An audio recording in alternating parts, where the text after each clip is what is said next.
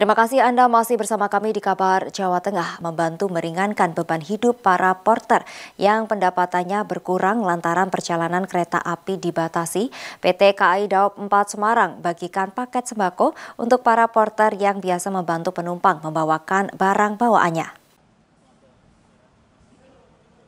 Inilah perwakilan para porter di stasiun Tawang Semarang yang keseharian mereka menggantungkan hidup dari jasa membawakan barang-barang bawaan penumpang. Mereka berjajar rapi untuk mendapatkan bantuan paket sembako dari KAI Daop 4 Semarang yang diserahkan langsung oleh Kadaop Wisnu Pramudyo. Menurut Wisnu Pramudyo, KAI sengaja memberikan paket sembako untuk para porter di seluruh wilayah Daop 4 guna meringankan beban hidup para porter yang juga terimbas pandemi COVID-19. Terlebih jumlah penumpang kereta api selama pandemi jauh berkurang karena adanya pembatasan, sehingga kondisi ini juga mempengaruhi pendapatan mereka sebagai pembantu pelayanan di stasiun kereta.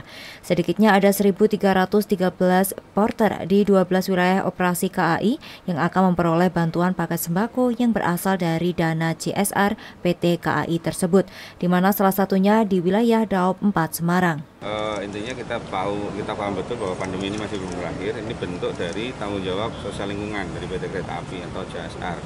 Ini dibagikan senilai 328 juta untuk seluruh uh, di 12 wilayah, ini termasuk di Daup Ada sekitar 1.313 porter.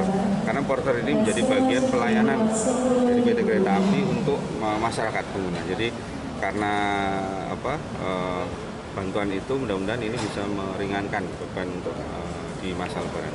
Gitu.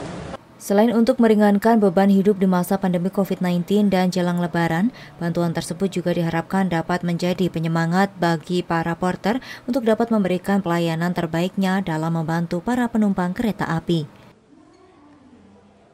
Tutuk Carita melaporkan.